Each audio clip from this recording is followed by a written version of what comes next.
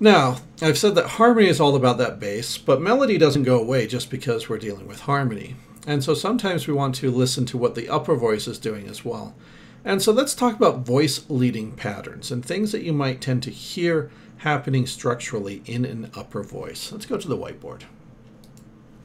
So what I'm going to do here is I'm just going to sketch out my, put down my harmony first, my do, do, fa, sol, do. And of course what I've got here is I've got 5-3 on each of these for now, just nice solid stable consonant 5-3 chords here. And so up here I'm just going to write the different notes of a Do 5-3. So Do, upper third is Mi, upper third is Sol. Fa, upper third is La, upper third is Do. Sol upper third is T, upper third is Re, Do upper third is, of course, Do, Mi, Sol, We've come back to that. In minor, would be Do, Me, Sol, Fa, Le, Do, and Do, Me, Sol, of course, in, in minor. So what we often do is we talk about voice leading patterns, and that is we don't just chunk between chords and write completely unmusically stuff.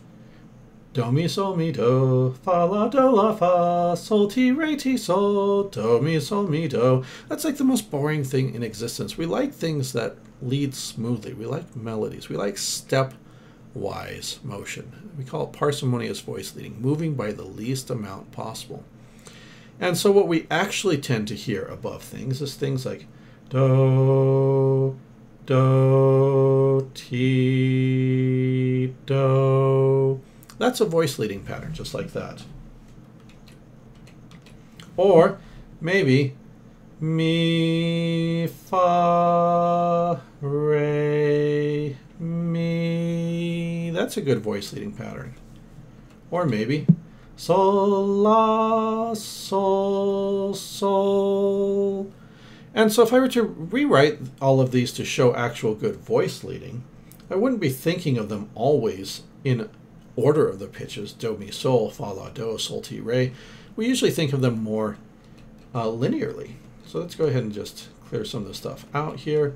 And let's write some good voice leading patterns over this stuff. Sol, la, sol, sol. That's a good voice leading pattern. Mi, fa, re,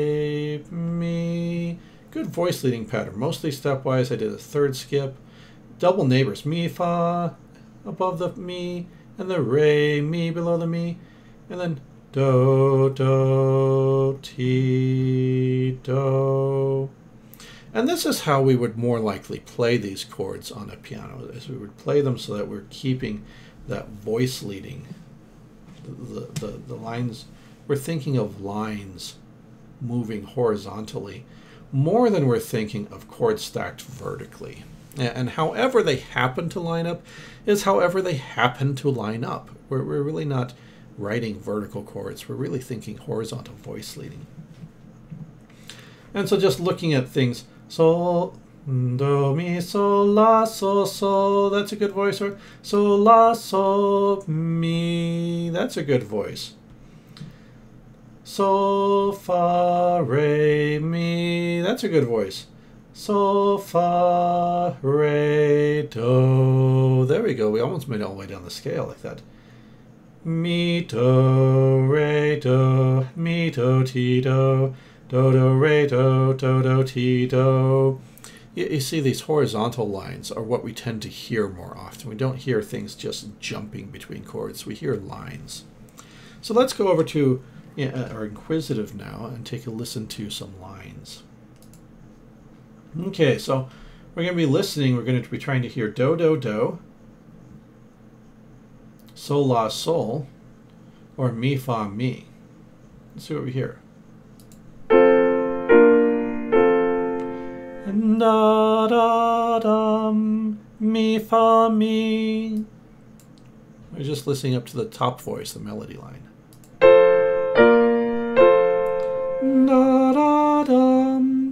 Sol, la, sol. dum da da. That's do do do. And so just matching up what we hear in the melody, thinking of those voice leading patterns is what's going to help us hear that. All right, and let's take a look at this one. We're going to listen to the bass to get the harmony. Once we know the bass notes, then we'll figure out which chords go with the bass. And then we're going to listen to the notes in the, in the soprano.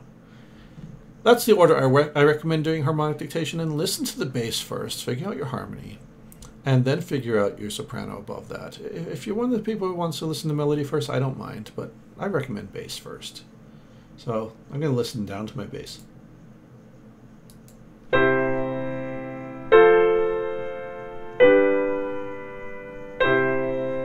Oh, that's a great Tactus line right there. Do, fa, sol, do. Do, fa, sol, do. Now, go ahead and take the extra step of translating the the, the actual bass into Roman numerals because you're going to be you're going to have to do that somewhere where you transfer to.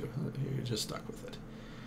But so do is one, fa is four, Sol is 5, and Do, we're back to 1.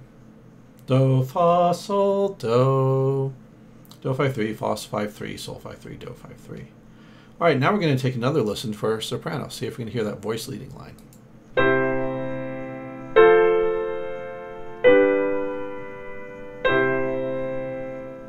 Dum, bum, bum, bum, do and you hear a nice stable do there.